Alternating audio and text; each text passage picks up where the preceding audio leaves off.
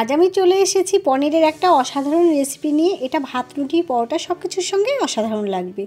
নমস্কার, আমি কবিতা, মমস কুইজিনে তোমাদের সবাইকে স্বাগত। তাহলে রান্নাটার জন্য প্রথমে একটা কড়াই বসিয়ে দিয়েছি। কড়াইতে দিয়ে দিচ্ছি সর্ষের তেল। এই রান্নাটা সর্ষের তেলে হবে। তেলটা গরম হয়ে যাওয়ার পরে এর মধ্যে অল্প একটু দিয়ে দিচ্ছি লবণ। লবণটা দেওয়ার পরে তেলটাকে কড়াইয়ের চারিদিকে ছড়িয়ে দিতে হবে। আর লবণটা দিলে পনিরটা কড়াইতে লেগে যাবে না।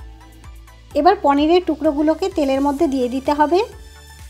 আর তেলের মধ্যে লবণটা দেওয়ার জন্য পনিরেও একটু লবণ ভাবটা আসবে। যেহেতু পনিরে আমি এখানে নুন, হলুদ কিছুই মাখাই নেই একসঙ্গে খুব বেশি দিলাম না, তাহলে ভেঙে যেতে পারে। ওই জন্য অল্প দিলাম। দেওয়ার পরে এবার উল্টে দিতে হবে। একটা সাইড হয়ে যাওয়ার পরে উল্টে দিতে হবে। এবার পনিরটা হালকা লাল করে ভেজে নেব। অনেকে এই অবস্থায় তুলে নেয়, কিন্তু আমি আরেকটু লাল করে নিচ্ছি, এই দেখো, এই অবস্থাতে। এবার আমি তুলে নেব। এবার পনিরগুলোকে সাইড করে নেওয়ার পরে এই তেলের মধ্যে দিয়ে দেব পটল। এখানে আমি কয়েকটা পটল কেটে রেখেছিলাম, সেই পটলগুলো এই পনির ভাজা তেলের মধ্যে দিয়ে দিচ্ছি। পটলগুলোকেও ভেজে নিতে হবে। পটলগুলো লাল করে ভেজে নিতে হবে, তাহলে এগুলো খেতে খুব ভালো লাগবে। এই দেখো লাল হয়ে গেছে, এখন আমি এই অবস্থায় পটলগুলোকে তুলে নিচ্ছি। এই পটল ভাজা তেলের মধ্যে দিয়ে দেবো একটা শুকনো লঙ্কা আর একটা তেজপাতা। তেলটা একটু কালো লাগছে, যেহেতু পটল ভাজা তেলটা এরকম কালো কালোই হয়ে যায়। এবার এই শুকনো লঙ্কা তেজপাতাটাকে একটু ভেজে নিতে হবে। এরপরে এর মধ্যে দিয়ে দিলাম গোটা জিরে আর অল্প একটু হিং। এবার সমস্ত কিছুকে ভালো করে ভেজে নিতে হবে। নেওয়ার পরে এর মধ্যে ছোট ছোট টুকরো করে আলু কেটে রেখেছিলাম আগে থেকে, সেই আলুগুলোর মধ্যে দিয়ে দিচ্ছি। একটু নাড়াচাড়া করে নিতে হবে। তারপরে এই আলুগুলোর কালারটা একটু সুন্দর হওয়ার জন্য এর মধ্যে অল্প একটু দিয়ে দিচ্ছি হলুদ। হলুদটা দিলে আলু ভাজার কালারটা খুব সুন্দর লাগবে, সেই জন্য আমি এখানে হলুদটা দিলাম। হলুদ না দিলেও হবে। আলু ভাজা হয়ে গেছে। এবার এর মধ্যে দিয়ে দেবো একটা পেস্ট, যার মধ্যে আছে টমেটো, আদা আর কাঁচা লঙ্কা। এখানে একটা ছোট সাইজের টমেটো নিয়েছিলাম, আদা দিয়েছি, আর ঝালটা তোমাদের টেস্ট অনুযায়ী দেবে, সেটা মিক্সিতে পেস্ট করে রেখেছিলাম, সেই মশলাটা এর মধ্যে দিয়ে দিলাম। বেশ কয়েক মিনিট এই মশলাটাকে খুব ভালো করে আলুর সঙ্গে কষিয়ে নিতে হবে। চার থেকে পাঁচ মিনিট মশলাটাকে কষিয়ে নেওয়ার পর এর মধ্যে গুঁড়ো মশলা দিয়ে দেবো। দিয়ে দিচ্ছি জিরের গুঁড়ো এক চামচ, হাফ চামচ ধনে গুঁড়ো, হাফ চামচ মতো লাল লঙ্কার গুঁড়ো, আর দেখো দিয়ে দেব স্বাদ অনুযায়ী লবণ। এবার এই সমস্ত গুঁড়ো মশলা দেওয়ার পরে আবারও ভালো করে আলুর সঙ্গে কষিয়ে নিতে হবে। দেখো আমি সবসময় যেটা বলে থাকি যে মশলাটা যত ভালো কষানো হবে, রান্নার টেস্টটা কিন্তু ততই ভালো হবে। ওই জন্য অনেক ধৈর্য ধরে মশলাটাকে কষিয়ে নিতে হবে।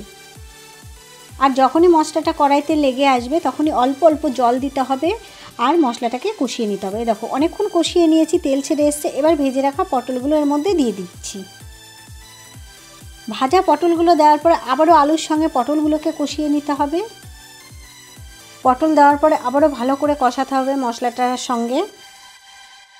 এবার দেখো, সবশেষে এর মধ্যে ভেজে রাখা পনিরগুলো দিয়ে দেবো।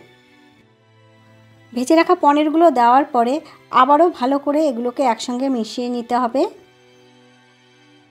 অনেকভাবেই আলু পটলের পনির রান্না করে থাকে, কিন্তু এইভাবে তোমরা একবার বাড়িতে বানিয়ে দেখো, এটাও ভালো লাগবে।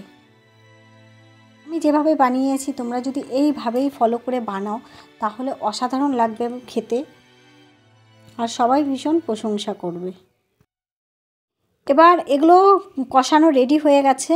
এখন এর মধ্যে জল দিয়ে দিচ্ছি। এখানে আমি গরম জল ব্যবহার করব। এখানে আমি দু বাটি জল দিচ্ছি প্রথমে। তোমরা যেরকম ঝোল রাখবে সেরকম দেবে। আমি এখানে ঝোলটা খুব বেশি রাখব না, একটু মাখামাখাই করব। ওই জন্য খুব বেশি জল দিলাম না। তাহলে রান্নার কালারটা খুব সুন্দর হয়। যতক্ষণ ধরে মশলাটাকে কষিয়েছি, ততক্ষণে কিন্তু আলু, পটল প্রায় বেশিরভাগইটাই সেদ্ধ হয়ে গেছে এইটি পারসেন্ট সেদ্ধ হয়ে গেছে।